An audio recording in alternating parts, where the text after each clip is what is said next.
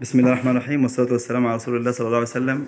آه هنتكلم النهارده عن غسالة LG اللي هي الكوري اللي هي 9 كيلو. إن شاء الله هيكون شرح مبسط وسهل لاي حد يفهمه بإذن الله. طبعا زي ما إحنا شايفين دي الغسالة بتاعتنا اللي هي السمراء طبعا هي 9 كيلو. دي ال- البروجرامات بتاعتها ودي الأوبشنات بتاعتها زي ما إحنا شايفين. طبعا دي الحلة الستانلس بتاعتها. وده الموديل بتاعها زي ما إحنا شايفين اللي هو ال F 14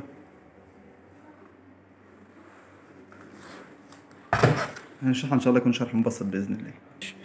آه، بالنسبة لنظام التشغيل آه، في عند الفلتر ده بعد نهاية كل يوم غسيل أو مثلا كل شهر مثلا.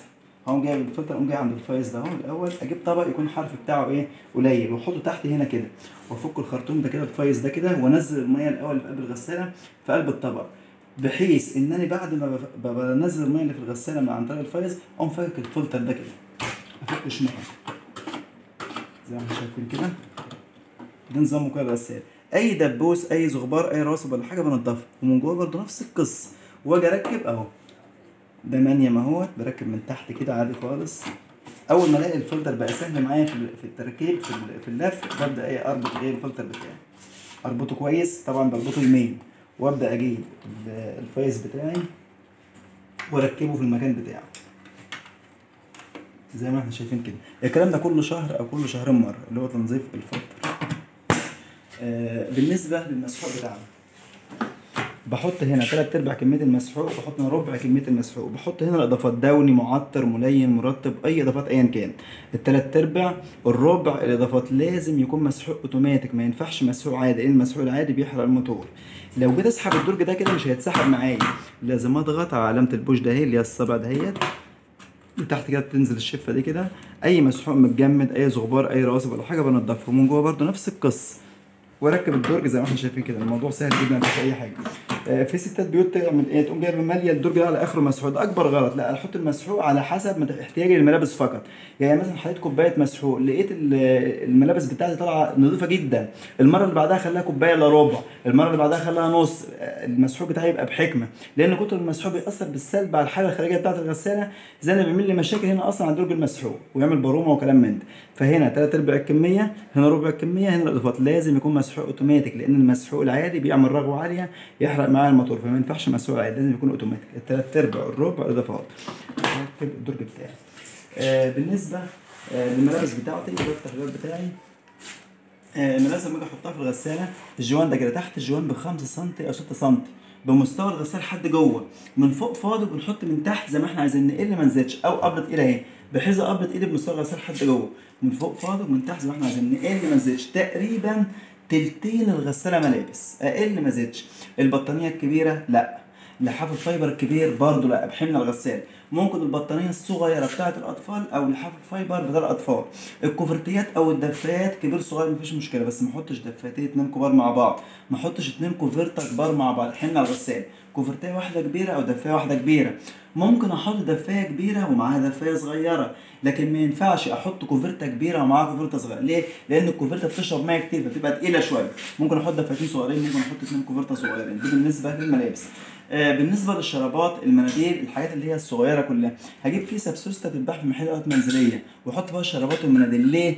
آه الغسالة أثناء السرعة بتاعتها وهي على سرعة عالية ممكن الشراب أو المنديل يخش ما بين الحلة الستانلس ديت وما بين الجوان. يعمل لي مشكلة في الغسالة. يعمل لي مشكلة ما بين الحلة الداخلية والحلة الخارجية. أو إن هو يخش هنا يعمل لي مشكلة عند الموتور بتاع الغسالة. فيفضل نستخدم الكيسة دي. بتبقى عاملة زي شبكة الكوره ده بالنسبة للملابس. آه، بالنسبة لنظام التشغيل ده مفتاح الطاقة اللي هو ال power مجرد ضغطت عليه كده قافل الغسالة. أول ما بتقفل الغسالة لو ضغطت start أو okay تأكيد تشغيل على برنامج القطن اللي هو الرئيسي بتاع الغسالة. هتبدأ تسحب مية وتغسل وتشطف وتجفف وتصرف تعمل كل حاجة لوحدها. درجة الحرارة هي مظبطاها على 40 درجة عدد اللفات 1400 لفة. لو أنا عايز برنامج تاني غير القطن اللي هو القطن ده أجيبه إزاي؟ الغسالة مطفية. بايد الغسالة ما بروحش عند ال start ولا okay تأكيد تشغيل. بقلب من البكرة اللي هي ال program اهوت كده عند القطن القطن اللي هو الرئيسي. لو أنا عايزه طبعا هضغط start كده عنده القطن ال eco اللي هو القطن الملون أو القطن الاقتصادي اللي فيه ألياف صناعية. لو أنا عايزه أقوم ضاغط start okay تاكيد تشغيل.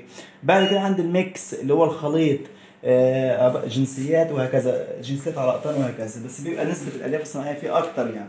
طبعا أي برنامج أنا باخده باجي أبص ألاقي بيتغير معايا درجة الحرارة وبيتغير معايا الشطفات وبيتغير معايا الايه ال- ال wash اللي هو ال- الغسيل.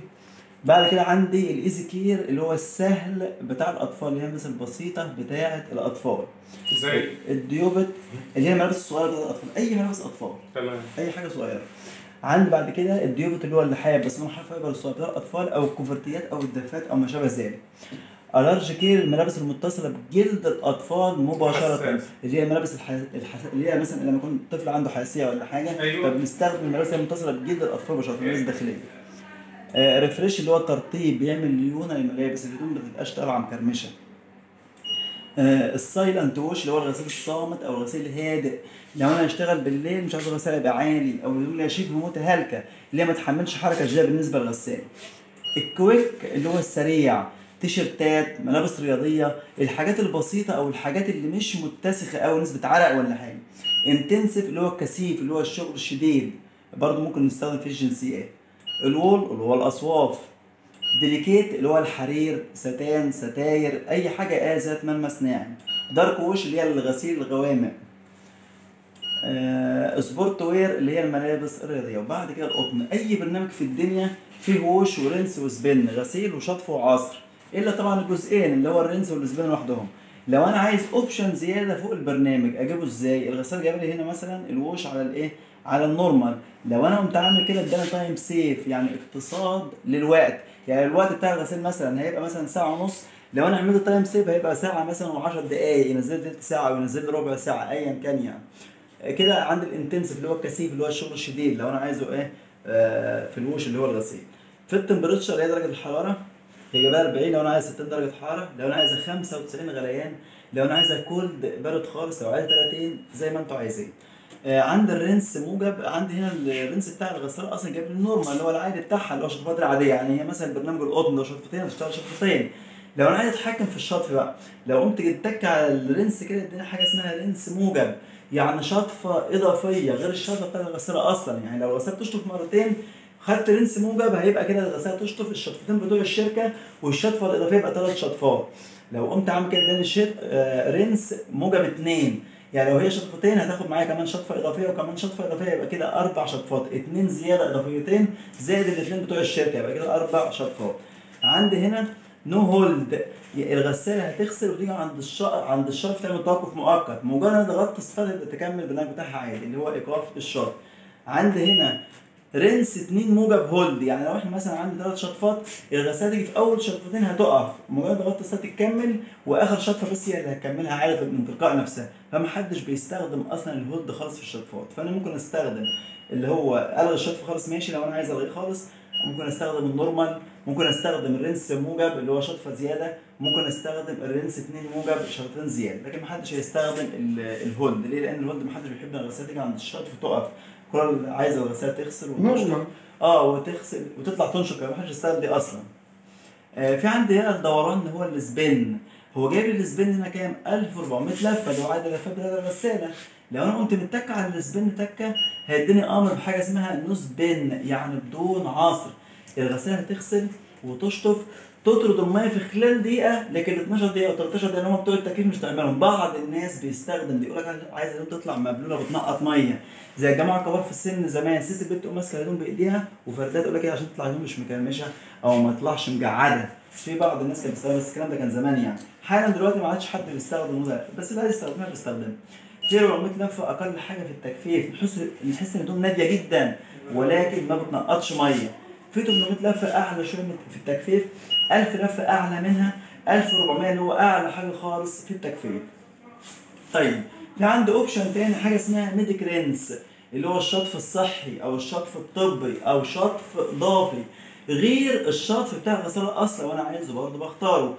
في عندي هنا steam wash غسيل بالبخار. عايز استخدم غسيل بالبخار بتك على steam wash اللي هي بدل اللي هي بدل الكتان أو القطن أو الاصواف والاشياء دي ممكن استخدم لها إيه ال steam اللي هو ال wash steam أو ال steam wash.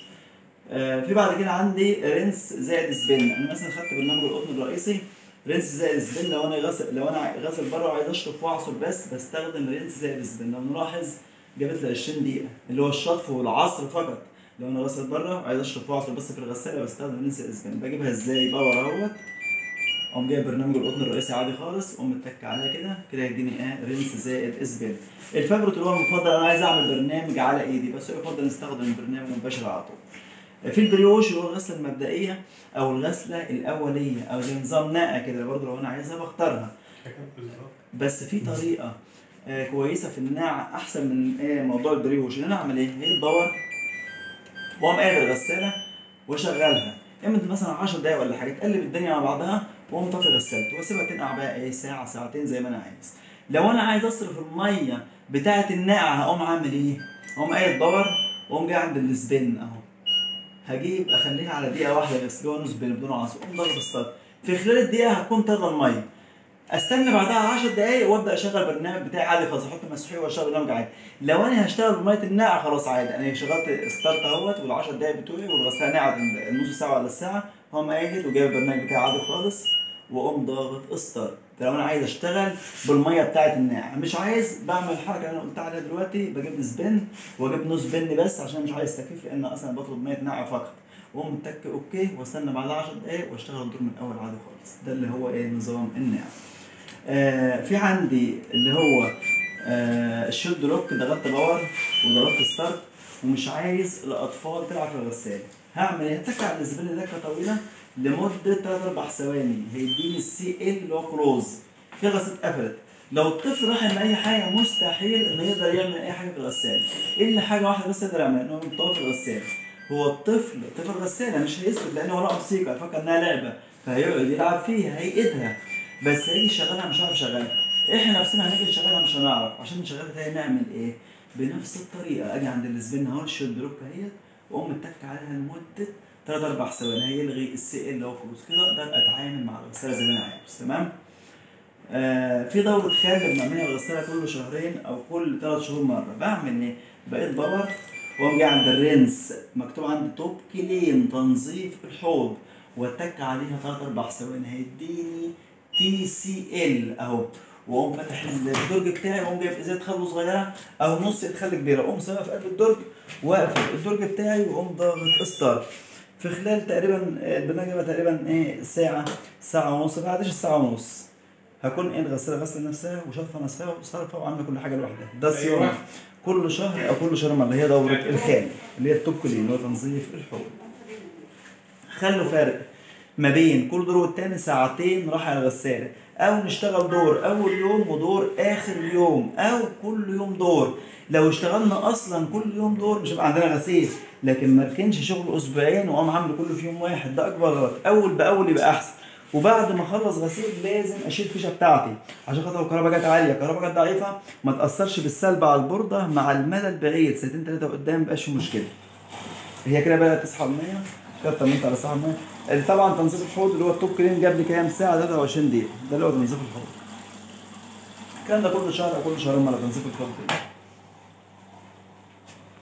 لو في أي استفسار قولوا لو في أي استفسار أصلا طيب عامة هو الفيديو موجود في أي وقت ترجع له عادي. آه أنا دلوقتي سحبت مية. طيب أنا هعمل test للغسالة عشان أطمن عليها. دور. بسم الله. كده أنا بعمل test للغسالة بختبر جميع أجزاء الغسالة في وقت قليل جدا. اللي أنا بعمله دلوقتي.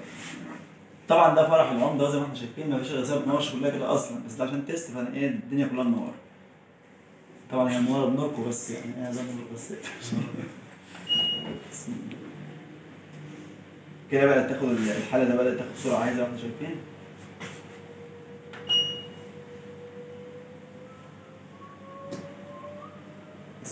تزيد اهي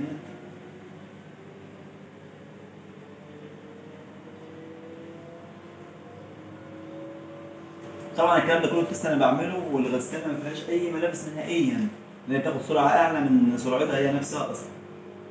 كده وصلت ل 100% تعدى 100%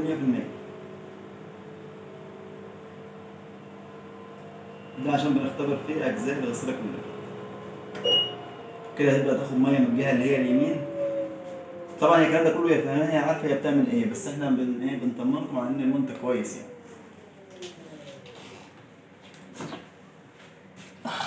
كده بتاخد مية من الجهة اليمين زي ما إحنا شايفينها اهي الميه اهي لو اتكيت كمان تكة تانية هتاخد الميه من الجهة الايه اللي هي الشمال. زي كده. كل ده تمام لوحدها.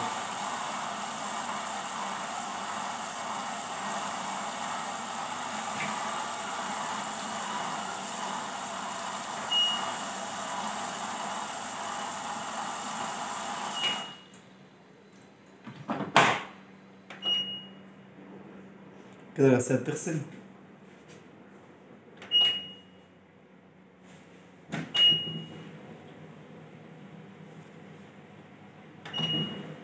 كده طرد المية ده كده صوت طرد المية دي كده النهاية بتاعتها. آه لو أنا غسل بره زي ما إحنا قلنا وشاطط بره وعايز أغسلها تجفف بس يعني تصرف وت- وتجفف الملابس بس بقوم قايل دور من هنا كده. واقوم متكي. على السبن اهي سبن واقوم متكي أوكي. اللي هو تاكيد التشغيل في خلال 15 دقيقة هيكون طرد المية وجاي في الحل.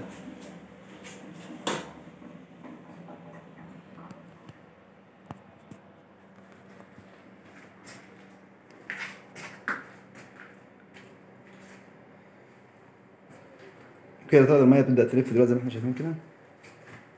أهم حاجة زي ما اتفقنا نخلي فرق ما بين كل دور والتاني ساعتين راحة للغسال أو نشتغل دور أول يوم ودور آخر يوم أو كل يوم دور. لو اشتغلنا أصلا كل يوم دور مش هيبقى عندنا غسيل لكن ما كانش شغله أسبوعين عامل كل فيهم واحد. ده أكبر غلط. أول بأول يبقى أحسن.